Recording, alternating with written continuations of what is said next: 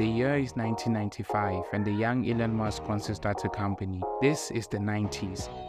Silicon Valley is flushed with cash on the back of the success of the 80s computer boom.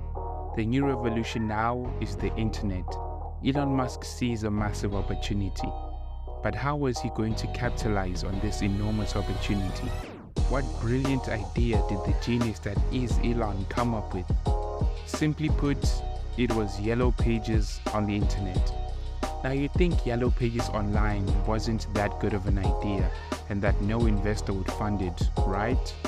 Wow, this was the late 90s. The dot-com bubble was in full swing. Put dot .com at the end of any website and it was guaranteed to get millions of dollars in funding. And that's what Elon Musk did. Elon Musk founded Zip2 along with his brother and a third co-founder, Greg Khouri.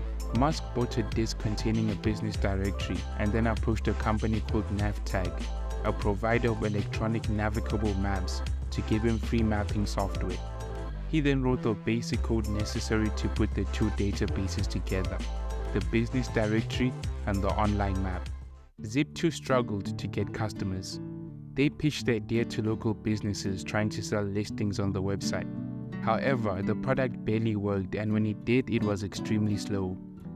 The idea itself was really basic. It was just a glorified Yellow Pages website. It was so basic that Elon Musk could build a large fake casing around his computer whenever investors were around to make it seem like the website was running on a sophisticated supercomputer. In addition to this, Elon and Kimbal would frequently get into arguments about the company. The governance of the company was so bad that once the company received its first outside investment, it had the condition that Elon Musk had to step down as CEO. So a new CEO by the name of Richard Sorkin was hired. Under Sorkin's leadership, Zip2 started to look like a decent business. He changed the direction of the company from online listings to providing a platform for newspapers to create their own directories. Sorkin used the new investment to hire a team of programmers to expand the company. But he found that Zip2's code, which up until that point was solely written by Elon Musk, was so bad that the programming team had to erase all of it and start from scratch building a new website.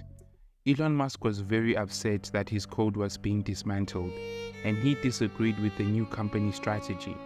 So he began staging a power struggle within the company to oust the CEO, Richard Sorkin.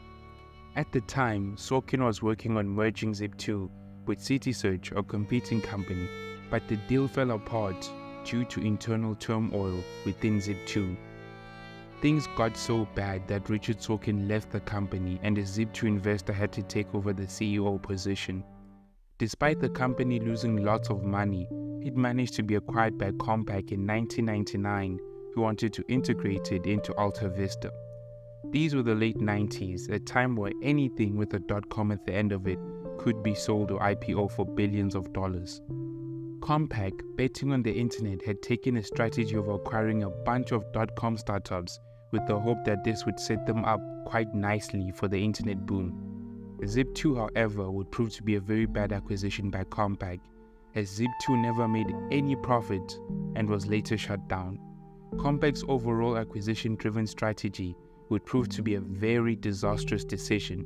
When the dot-com bubble burst, Compaq lost 75% of its value and would later be acquired by HP. And as for Elon Musk, he ended up being the richest man in the world. Thank you for watching.